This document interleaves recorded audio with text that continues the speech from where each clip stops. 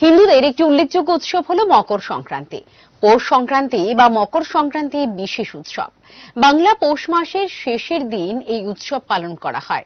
পৌষ মাসে সূর্য যখন ধনু রাশি থেকে মকর রাশিতে প্রবেশ করে, তখন মকর সংক্রান্তি পালিত হয়। এই উৎসব উত্তরায়ণ নামেও পরিচিত। হিন্দু শাস্ত্রে মকর সংক্রান্তির বিশেষ গুরুত্ব রয়েছে। পৌরাণিক কাহিনী অনুসারে, এই তিথিতে সূর্য দেবতা তাঁর পুত্র শনির গৃহে আসেন। যেহেতু শনি মকর ও কুম্ভ রাশির অধিপতি, তাই বাবা ও ছেলের মিলন উপলক্ষে উৎসব হয়। অন্যদিকে প্রচলিত আছে, এই বিশেষ তিথিতে ভগবান বিষ্ণু অসুরদের বধ করেছিলেন। তাই বিজয় উৎসব হিসেবে পালিত হয় মকর সংক্রান্তি। ঋতুর পরিবর্তন হয় মকর সংক্রান্তির দিন। শীত কমে গিয়ে শুরু হয় বসন্ত। এদিন পূজিত হন সূর্য দেবতা। শাস্ত্রমতে সূর্য হল আত্মা, পিতা, মান সম্মান, সাফল্য, উন্নতি, সকলের প্রতীক। তাকে তুষ্ট করতে পারলে সব কার্যে সিদ্ধি লাভ করা সম্ভব। এরই সঙ্গে মকর সংক্রান্তির দিন পুণ্য লাভের জন্য পবিত্র নদীতে স্নানের রীতি বহু বছর ধরে প্রচলিত।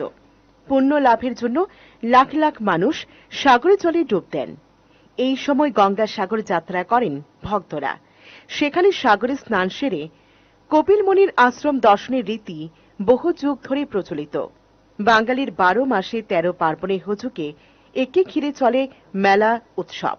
এছাড়া ঘরে ঘরে চলে নতুন চালের গরুর আলপনা ও মা লক্ষ্মীর আরাধনা। বাঙালির উৎসবে মিষ্টির কথা তো সর্বজন বিদিত।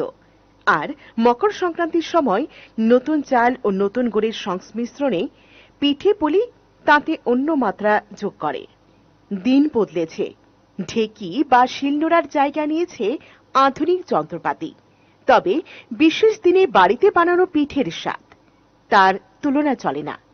সরু চাকুলি পাটিসাপটা সেদ্ধপলি বা দুধপলি যাই হোক, সবই অনবদ্য, অসাধারণ। এ তো শুধু মিষ্টিই নয় নস্টালজিক বাঙালি এতে খুঁজে পায়। তার মা, ঠাকুমা, দিদিমার স্নেহের আদরের স্পর্শ।